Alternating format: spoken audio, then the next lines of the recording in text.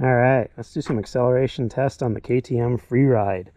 This bike is very heavy. It weighs more than pretty much all our motocross bikes. Uh, think it weighs right around 250. It's got an 18 kilowatt motor. The Sur-Ron in Talaria is 6 6000.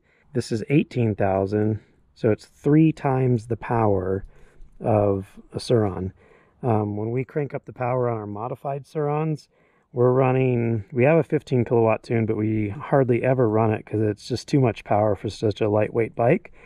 Um, we're usually running um, between, usually close to 8 kilowatts. Um, I run the 12 kilowatt tune quite a lot on my Sur-Ron with the 1821s, which is the same size tires that's on this KTM Freeride. When I'm running the 12 kilowatt tune, I'm never running it at the max power level. I'm usually running it kind of two thirds or somewhere around there and it feels really good on the Sur-Ron. More than double the weight, 120 pounds on the Sur-Ron versus 250 here.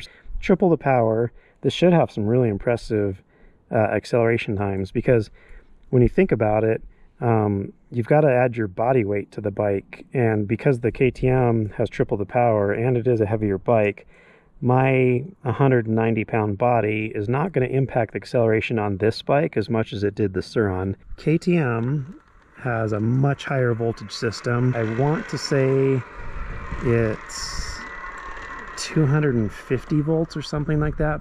Supposedly with the higher voltages, you have less battery sag. So what that means is when the battery starts to get low, and we haven't ridden this Freeride enough to test this theory out, but as the battery levels get low um, and you try to accelerate um, on the Sur-Ron, you guys all know that uh, the Sur-Ron on a modded Sur-Ron, you'll actually it'll actually over, uh, under voltage and cut the power to the motor.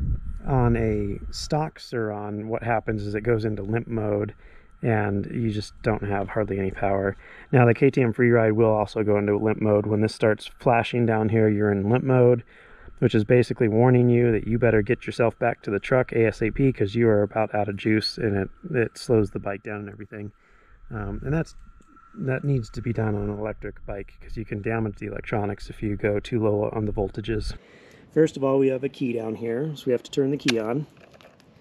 Okay, so the key's on, but nothing's happened. The cluster has not lit up, nothing happened. Okay, well this is kind of weird. I have an on-off button, so it's turned on. Uh, okay, there we go. So my cluster has lit up. So now, okay, I should be able to ride the bike, right? No, if I give it throttle input, nothing is happening. Okay, so, well, if this was a gas motorcycle, I guess what I would need to do is I'd have to start the engine, but that's kind of weird because this is electric, right? So I don't have to start it.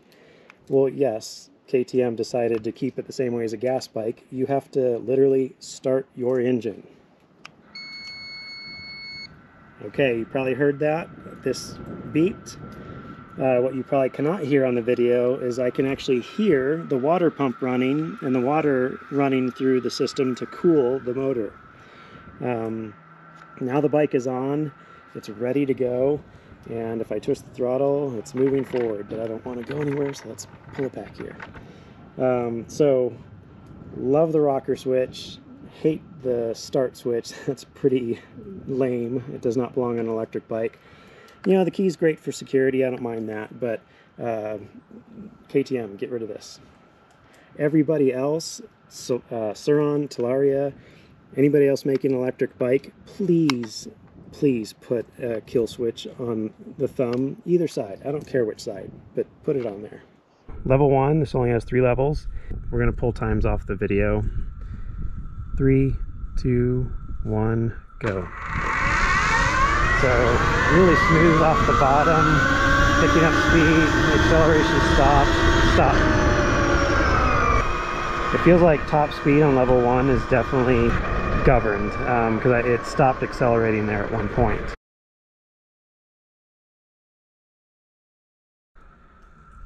All right, So to change levels on this, you hold this down and it blinks. There you go. So you hold this down until it switches. Now we're in mode number two, and this should be quite a lot faster. Two, one, go. Oh, that's fast. Wow. And stop. That was fast. Man, I wish I had uh, the Garmin. It's been a while since I've done acceleration runs with uh, the modded Sur-Rons. That felt every bit as fast as a modded Sur-Ron. That was fast, guys. All right, let's go to three. So now we're in mode three, fastest setting on the KTM. Three, two, one, go. Oh wow. Stop. That is way faster than a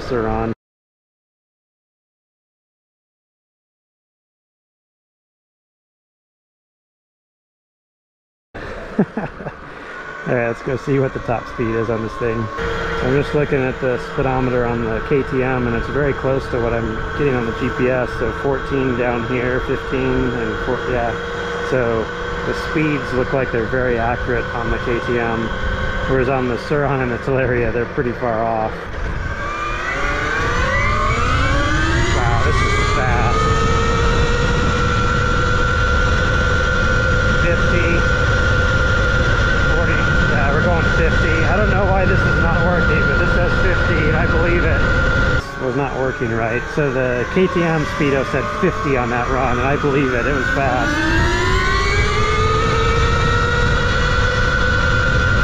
Forty-nine, fifty. So I,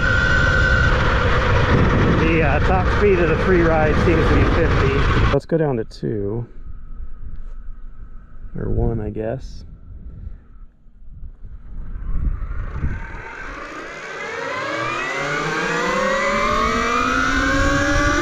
Top speed seems to be limited to 30, 32, 33.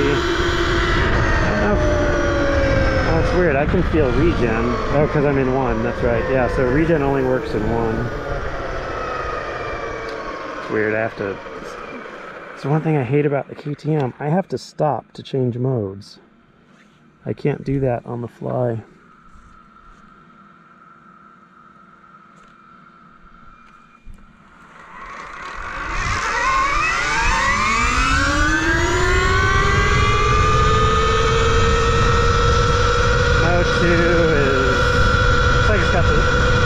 is not limited. I'm at 48, 49.